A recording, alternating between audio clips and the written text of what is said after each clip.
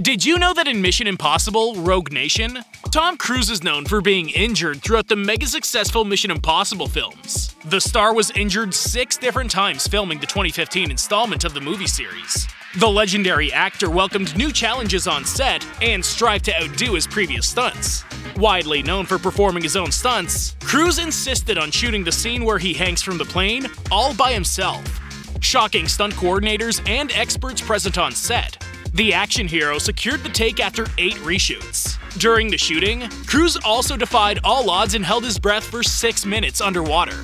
Now that's Tom Cruise for you.